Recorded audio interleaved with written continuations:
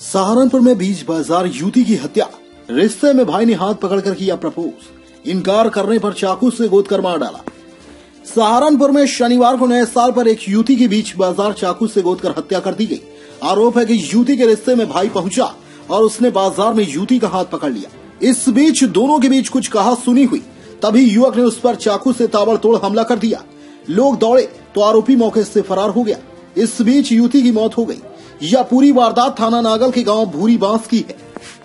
सूचना पर मौके पर पहुँची पुलिस ने शव को कब्जे में लेकर पोस्टमार्टम के लिए भेज दिया है। पुलिस का कहना कि युवक युवती से एक तरफा प्यार करता था। लड़की की शादी तय हो गई थी। इसी खुन्नस में उसने हत्या की फ़िलहाल प्रकरण की जाँच जारी है। वहीं इस मामले में थाना नागल पुलिस व क्राइम ब्रांच की संयुक्त टीम ने दो आरोपी को वारदात के कुछ ही घंटों बाद गिरफ़्तार कर लिया है। ब्यूरो रिपोर्ट, आरटीआई न्यूज़ 24 चुप आराम तो होगा बोल।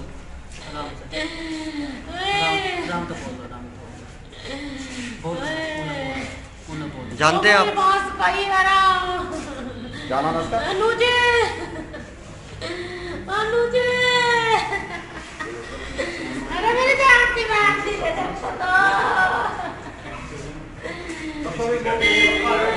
देश प्रदेश की हर छोटी बड़ी खबर के लिए सब्सक्राइब करें हमारा channel R T I news twenty four. और बेल आइकन दबाना ना भूलें, जिससे हर खबर आप तक पहुँचा सके हम। सबसे पहले